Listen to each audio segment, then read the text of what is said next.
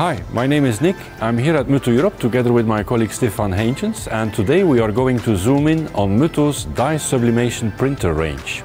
We have an extended range of dye sublimation printers from 42 inch wide up to 102 inch wide for entry level, mid-range and high volumes. Now Stefan, can you explain to me what is needed to start up a successful dye sublimation printer business? Well, Nick, yes, I can. I think uh, a good start is to buy a Mutoh printer.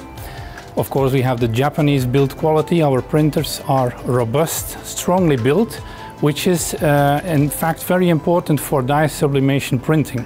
Because in sublimation, when you go into production, the printers print much more volume than a typical solvent printer, which is why this stability, day to day, being able to print the same quality over and over again is very important.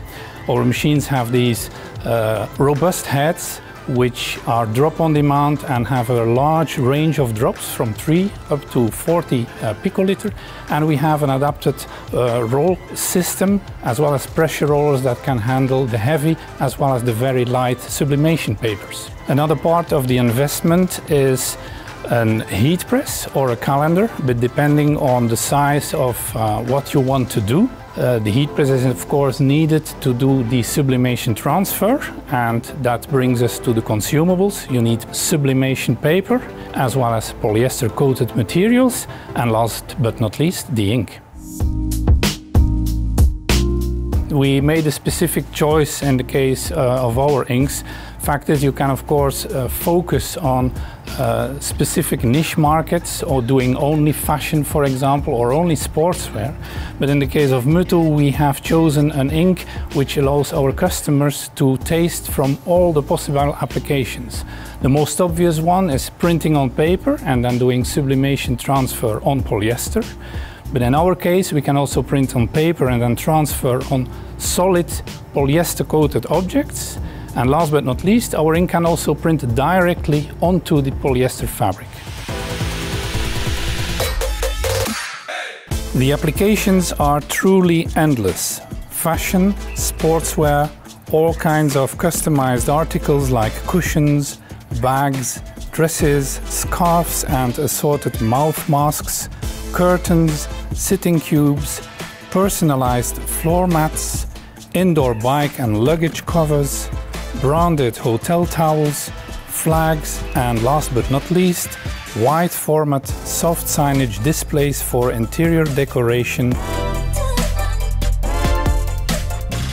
On solid objects we have personalized products like skis and snowboards, as well as giveaways like key hangers, watches, serving trays, mouse mats and smartphone covers. We have, of course, the part from the ink, which determines what you can do and onto which uh, fabrics or which objects you can print. So you have this aspect of versatility.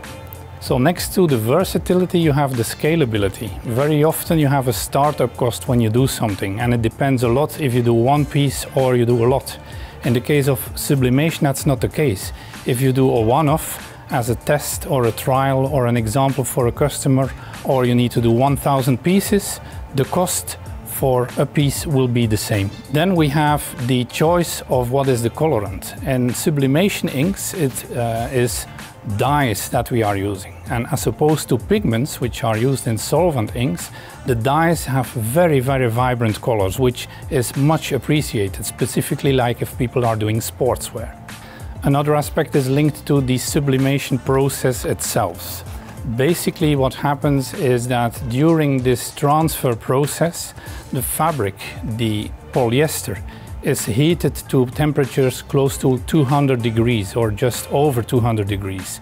The polyester opens up and the colorants turn into gas and go inside the polyester which afterwards cools down and locks in the colorants, closing them up and protecting them from abrasion, but also protecting them if the fabrics are washed at, for example, very high temperatures, even up to 100 degrees, cook wash. And that's one of the reasons why uh, sublimation printing is now becoming popular, for example, for the creation of mouth masks, which are coming, becoming common scenery in the streets.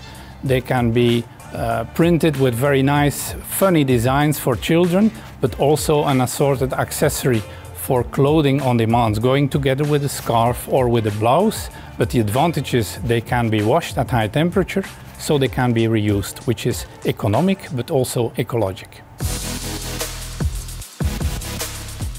Okay, for safety standards, normally you are looking at the finished application. So it would not be Mutoh that we would be compliant to a standard, but somebody that is using a fabric which is, for example, Oeko-Tex certified and that wants to sell that finished fabric as clothing and saying it is Oeko-Tex certified.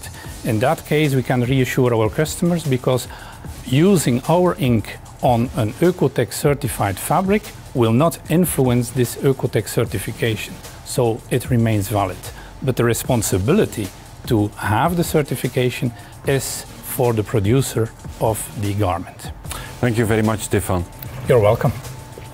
So this was more information on Mutoh's dye sublimation printer range. If you require any further information on our sublimation printers, we can bring you in touch with a Mutoh certified distributor and we have a widespread network throughout EMEA.